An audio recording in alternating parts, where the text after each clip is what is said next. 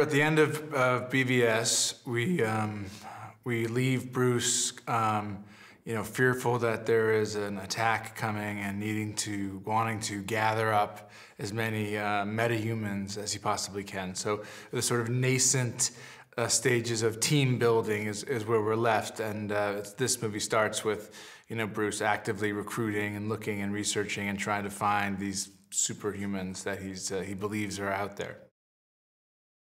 JK, he's a perfect uh, Commissioner Gordon. He's got that kind of uh, realism, you know, down where he feels just world weary and, and, gritty and feels like a guy who's been working the beat of Gotham, you know, for decades. And uh, he lends a real gravitas to the role.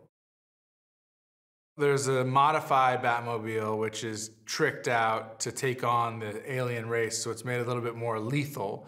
And um, and then there's the Batwing, which is pretty cool. Uh, you know, it's a ship that he flies around in, and he's got his huge like triple seven that he just flies around when he needs to be transported somewhere, and he's building this bigger plane that he wants to be to go longer distances. So Bruce Wayne has no shortage of ways to get around.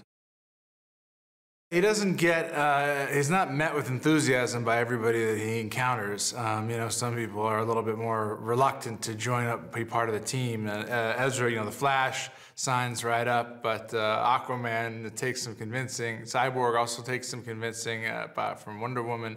But together, we collectively start to assemble this group, and eventually they, they come around and realize that there's a need for us to work together.